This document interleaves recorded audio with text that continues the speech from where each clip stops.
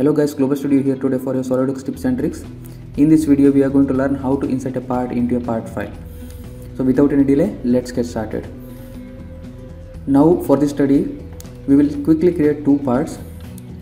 Go to part, create new part and click OK and then take the front plane and create one rectangle like this and create one circle also like this give the dimension 100 mm and give this dimension also 100 mm and this dimension we will give it as 50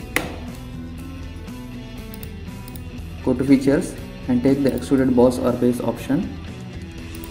Select this mid plane option and then give the depth around 50 mm and then click ok. And then save this part into a folder I have already created one folder.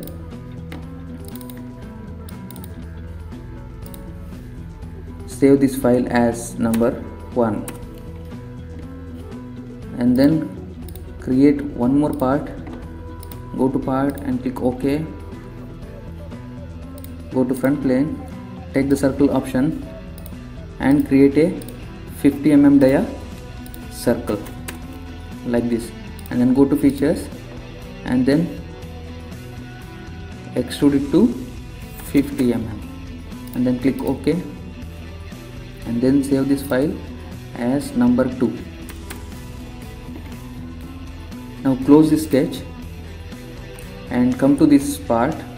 Now for this part we have to insert a part file. As you can see this is a part file. This is not an assembly. So we have to insert a part into this file. To insert a part file go to insert and then click to the part. Select the folder where you saved the file. As you can see I have saved the file here. Just click to the part number 2 and click open. After this come downside and check this locate part option and then click ok.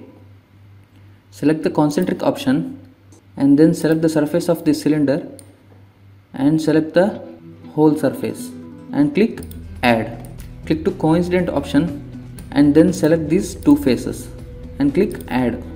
As you can see we have successfully added a part into a part file. Then click ok. So that's how we can add a part into a part file. That's all guys for this video.